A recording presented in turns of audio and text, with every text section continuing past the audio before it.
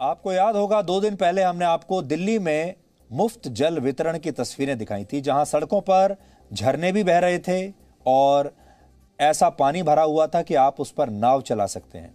लेकिन आज हम आपको अमेरिका के न्यूयॉर्क सिटी की तस्वीरें दिखाते हैं, जिन्हें देखने के बाद आप दिल्ली में आई बाढ़ को भी भूल जाएँगे। हमें पूरी उम्मीद है कि इन तस्वीरों को देखकर आज दिल्ली के मुख्यमंत्री अरविंद केजरीवाल के दिल को भी बड़ी तसल्ली मिलेगी और उन्हें लगेगा कि सिर्फ़ अकेला उनका शहर नहीं है, जहाँ ऐसा सब होता है, ऐसा तो अमेरिका के न्यूयॉर्क शहर में भी होता है।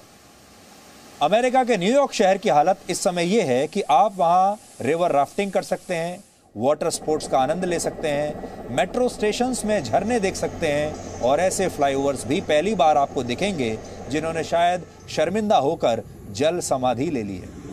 ये अमेरिका के उसी न्यूयॉर्क की तस्वीरें हैं, जहाँ 10 लाख से ज़्यादा ऊँची और आलीशान इमारतें हैं और जहाँ हमारे देश के कई लोग एक बार कम से कम जाने का सपना ज़रूर देखते हैं। हमें लगता है हमारे शहर और राज्यों में बहुत कमियाँ हैं, लेकिन जो सच है वो इन तस्वीरों में आज आप देख सकते हैं।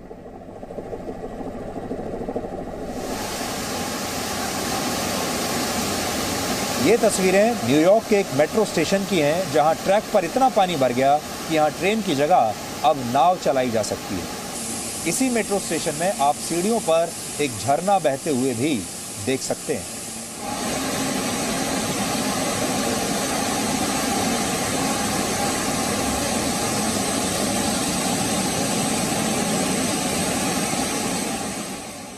न्यूयॉर्क की ये हालत एक तूफ़ान की वजह से हुई है और इस तूफ़ान का नाम है ईडा।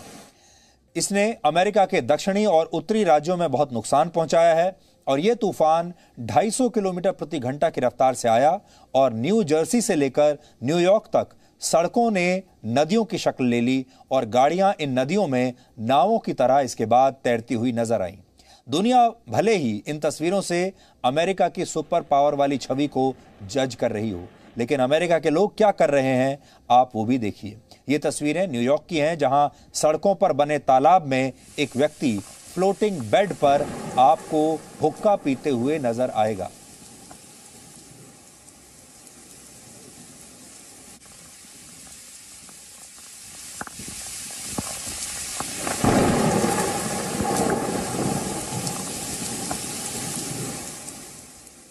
न्यू जर्सी के अंतर्राष्ट्रीय एयरपोर्ट की इन तस्वीरों को देखकर हो सकता है आप भी धोखा खा जाएँ और आप इसे कोई अम्यूजमेंट पार्क समझने लगें। इस एयरपोर्ट के रनवे पर इतना पानी भर चुका है कि वहाँ अब गाड़ियाँ भी इसमें तैरती हुई नज़र आ रही हैं और ये सारे जो हवाई जहाज़ आप देख पा रहे हैं, ये सब पानी के बीच फंस चुके हैं।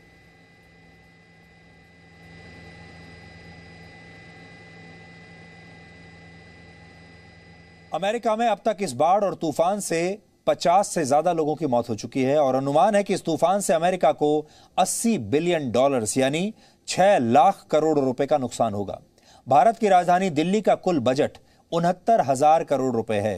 यानी अमेरिका का इस बाढ़ से जितना नुकसान हुआ है, उतने में दिल्ली का आठ साल का बजट निकल सकता है। Look at that tornado!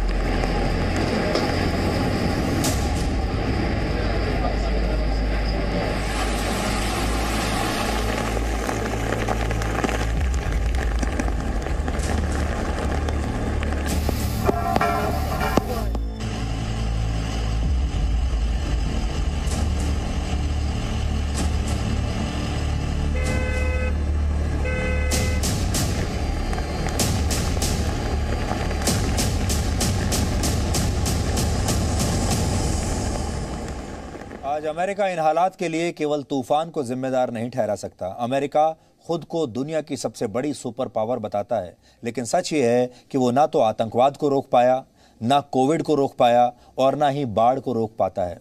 और ये हाल भी तब है जब इन तीनों मुद्दों पर पूरी दुनिया में सबसे ज़्यादा पैसा इसी देश ने खर्च किया है। अफ़गानिस्तान में जो कुछ हुआ, उसने अमेरिका की छवि को बहुत नुकसान पहुँचाया और अमेरिका की जो सुपर पावर वाली इमेज थी, वो काफ़ी हद तक धराशायी हो गई क्योंकि उसकी सेना अफ़गानिस्तान से खाली हाथ लौट आई 20 साल लड़ाई करने के बाद भी। इसके बाद कोविड को लेकर पूरी दुनिया ने जो तस्वीरें देखी अमेरिका से आने वाली, उससे भी अमेरिका एक्सपोज हुआ और लोगों को यह पता चला कि सुपर पावर के पास अपना हेल्थ सिस्टम भी कितना कमज़ोर है। और अब जो बाढ़ आई है उससे भी लोगों को यह पता चल गया कि वहाँ का इंफ्रास्ट्रक्चर कितना कमज़ोर है